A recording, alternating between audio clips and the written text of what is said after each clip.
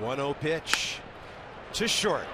Difo, Murphy, 6-4-3, and the Nats turn their 10th double play of the year.